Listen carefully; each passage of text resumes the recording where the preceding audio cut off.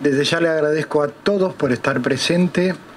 Y este proyecto empezó en un gimnasio, aunque ustedes no lo crean. Rodolfo conoció a Franco y ahí nació todo. Yo les tengo que agradecer eso. Y a todos los vecinos que colaboran, a mi hijo que hizo el cartel. Y bueno, hay muchas cosas. Eh, le doy gracias al intendente por estar acá, por no olvidarnos, por recordarnos siempre y por lo que están haciendo.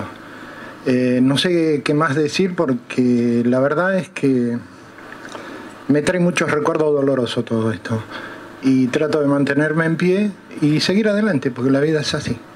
Les agradezco a todos por haber estado. Es un poco difícil empezar.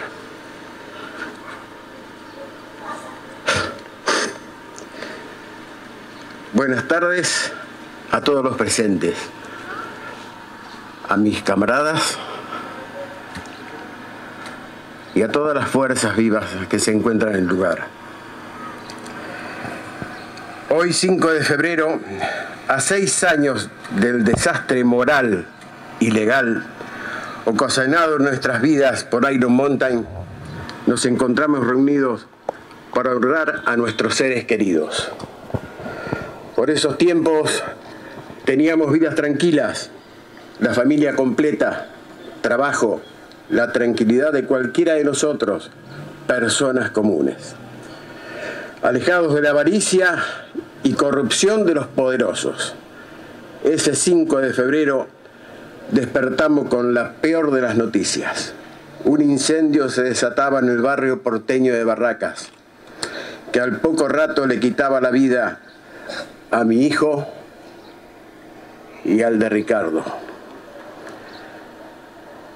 Y nueve de sus camaradas, dejando heridos de diferente gravedad a otros. Eran personas de bien, familiares, trabajadores, voluntarios, nada más en ellos que la solidaridad sin retribución alguna. Comienzan a pasar los días y lo que fue una tragedia se va convirtiendo en un asesinato cometido por Iron Mountain, más la complicidad del gobierno de turno local. Tiempos que no sabíamos contra quién nos enfrentábamos. Eran ellos nada menos que los corruptos del gobierno, los gobiernos de la ciudad, empresarios con mucho poder internacional, bancos, todos cómplices en el delito de lavado de dinero. Había que quemar los papeles que los comprometían, como lo hicieron en otros países. ¿Qué mejor que un incendio? Como decía San Agustín, errar es humano, perseverar en el error es diabólico. Hoy, a seis años, exigimos justicia no vamos a callar ante el pedido de justicia, por más que nos prohíban nombrarlos. Muchos nos han acompañado fielmente en este camino que nos tocó vivir y en el pedido de justicia. Otros, en cambio, se alejaron de nuestras vidas y algunos han puesto piedras en el camino. A seis años del asesinato hemos logrado de la mano de nuestro abogado Javier Moral, a quien agradecemos que Casación nos reciba en audiencia el 10 de febrero próximo. Así, estos jueces dictaminen si podemos o no ser querellantes en la causa. Hoy casación se convirtió en una brisa de esperanza para nosotros y así paguen los responsables de estas muertes.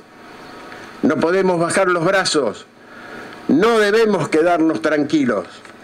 Necesitamos que todo el pueblo argentino y sobre todo el acompañamiento del pueblo de Florencio Varela para que este grito de justicia lo escuche Casación. Sin tratos especiales, queremos justicia.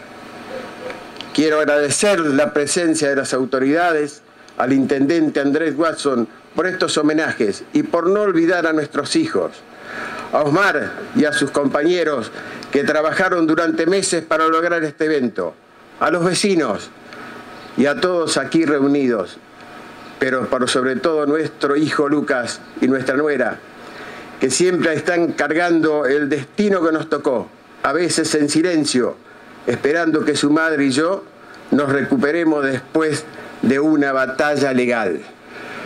Batalla que no termina, batalla que recién comienza.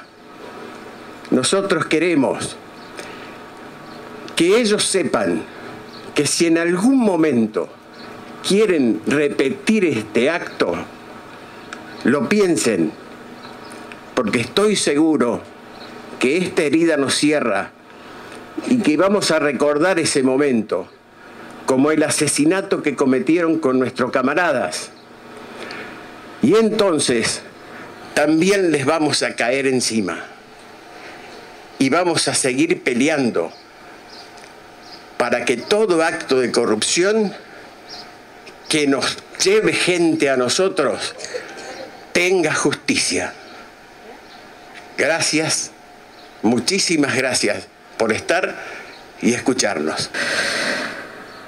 La verdad que es un momento muy emocionante y no es fácil dirigirles palabras después de haber escuchado a dos personas que han perdido parte de su vida y que como bien decía recién la madre de Maximiliano dejaron de ser felices.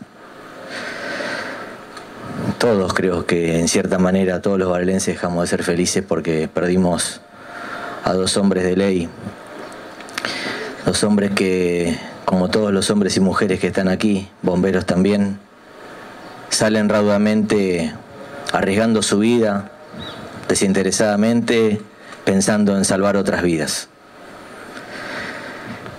Y a veces suceden hechos que nadie quiere, como en este caso. Por supuesto, en este marco, con una bronca más para todos nosotros, que es que es parte de un hecho fatídico, de un delito que se ha cometido.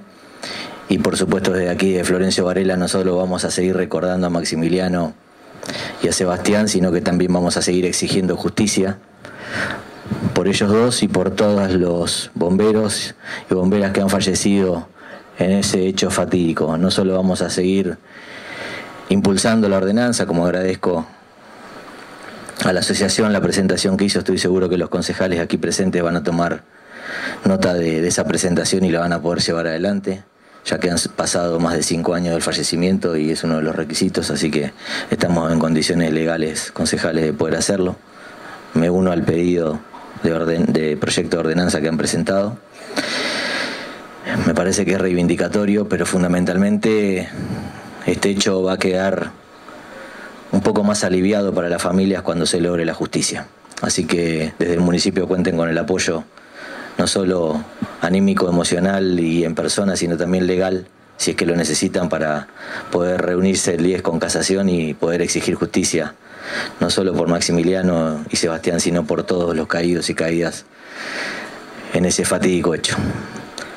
Hace unos días cumplimos 129 años de historia y siempre hablamos de nuestra historia y recordamos a nuestros héroes. Y a mí no me cabe ninguna duda que junto con los héroes de Malvinas y otros héroes que hemos tenido aquí en Florencio Varela, anónimos quizás algunos, en este caso Sebastián y Maximiliano no lo son y pasaron a engrosar la lista de héroes que tenemos aquí en Florencio Varela. Así que nuestros respetos a su familia y vamos a continuar recordándolos con absoluto respeto como se merecen por haber entregado la vida por los demás. Y vamos a seguir exigiendo justicia. Muchísimas gracias.